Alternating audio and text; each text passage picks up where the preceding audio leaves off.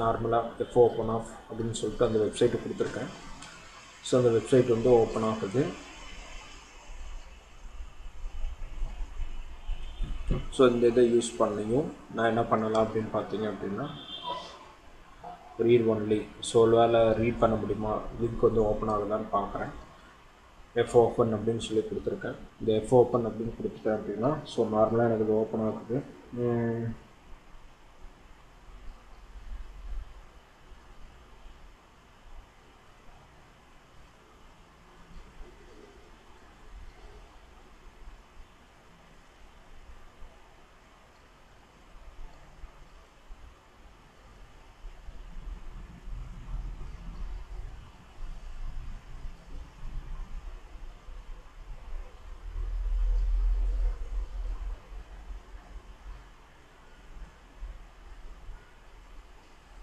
So warning வருது. So இந்த மாதிரி ஃபைல் ஓப்பன் ஆக முடியலன்னு ஸோ இதில் வந்து என்ன பண்ணுறேன் அப்படின்னா எக்ஸிட் அப்படின்னு கொடுத்துட்டேன் அப்படின்னா ஓப்பன் ஆக முடியல அப்படிங்கிற பட்சத்தில் நார்மலாக அந்த ப்ரோக்ராம் அந்த எரர் விட்டு வெளியே வர்றதுக்கெல்லாம் ஸோ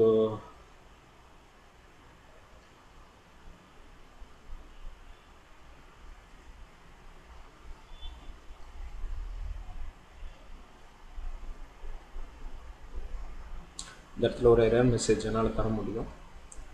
ஸோ அப்போ என்ன ஆகும் அப்படின்னு பார்த்தீங்க அப்படின்னா நார்மலாக அன் அன்எக்செப்டடான ஒரு எரர் ஸோ அப்போ என்ன ஆகும் அப்படின்னு பார்த்தீங்க அப்படின்னா நார்மலாக அந்த எரரோட இதை வந்து நான் என்ன பண்ணிக்கலாம் அப்படின்னா ஒரு தகவல் இது மாதிரி நான் ஸ்டோர் பண்ணிக்கிறேன்.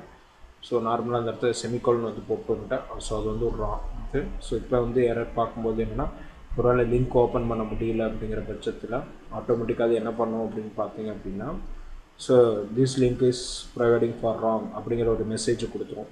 ஸோ அப்போ என்னென்னா யூசருக்கு வந்து எரராக இது பண்ணாமல் ஸோ நார்மலாக பார்த்தீங்கன்னா நாட் இதில் என்னென்னா ராங் அப்படிங்கிற ஒரு எரர் மெசேஜ் எடுத்து கொண்டாந்து டிஸ்ப்ளே பண்ணுது. This link is going to the long இதனால் என்னென்னா நமக்கு எரர் ஹேண்ட்லிங் பண்ணுறதுக்கு ரொம்பவும் ஹெல்ப்ஃபுல்லாக இருக்கும். ஏன்னா பிஹெச்பி பொறுத்தவரை என்னென்னா சம்டைம்ஸ் வந்து எரரும் வராது அவுட்புட்டும் வராது. ஸோ அந்த மாதிரி சினாரியோவில் ப்ரோக்ராமிங் பண்ணுறது அப்படிங்கிறது கொஞ்சம் கஷ்டம். ஸோ அதனால் இதை இது யூஸ் பண்ணோம் அப்படின்னா நமக்கு வந்து என்னென்னா அந்த மாதிரி எரர் இதெல்லாம் வர்றது எல்லாத்தையும் நம்மளால் கண்ட்ரோல் பண்ணிக்க முடியும். ஸோ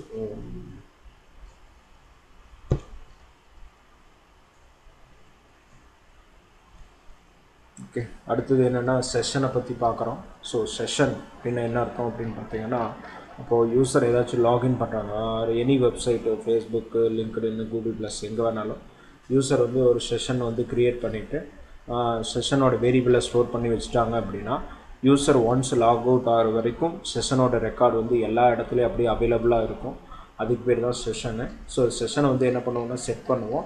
தென் வந்து செஷன் வந்து அன்செட் பண்ணுவோம். இந்த ரெண்டு ப்ராசஸ் நம்ம பண்ணுவோம்.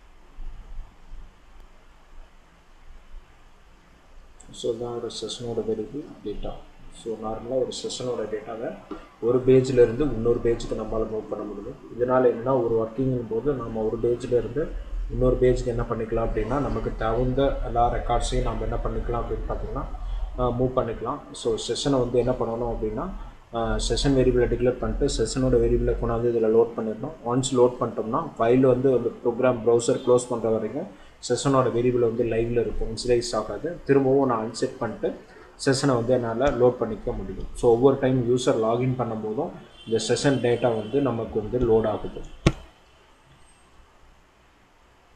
ஸோ அடுத்தது வந்து எதை பற்றி பார்க்க போகிறோம் அப்படின்னு பார்த்தீங்கன்னா குக்கீஸை பற்றி பார்க்க போகிறோம் ஸோ குக்கீஸ் அப்படிங்கிறது என்ன அப்படின்னு பார்த்தீங்கன்னா நார்மலாக யூசர் வந்து ஐடென்டிஃபிகேஷன் எம்பெடட் பண்ணுறோம் நம்மளுடைய சர்வர்லேயே தென் இதை யூஸ் பண்ணும்போது என்ன ஆகும் பேஜ் ப்ரௌசரில் வந்து குக்கீஸ் வந்து அதில் வந்து ஸ்டோர் ஆயிரும். ஸோ இதனால் என்னென்னா யூஸரோட கம்ப்யூட்டரோட இன்ஃபர்மேஷனில் இது ஸ்டோர் ஆகிடும் ஃபுல்லாக ஸோ இது வந்து ஸ்டோர் ஆயிடுச்சு அப்படின்னா நமக்கு என்ன அப்படின்னா ரொம்ப கம்ஃபர்டபுளாக நம்மளால் என்ன பண்ண முடியும் அப்படின்னு பார்த்தீங்க அப்படின்னா குக்கீஸோட வேல்யூஸை செட் பண்ணிக்க முடியும். அதாவது எக்ஸ்பயர் ஆகும்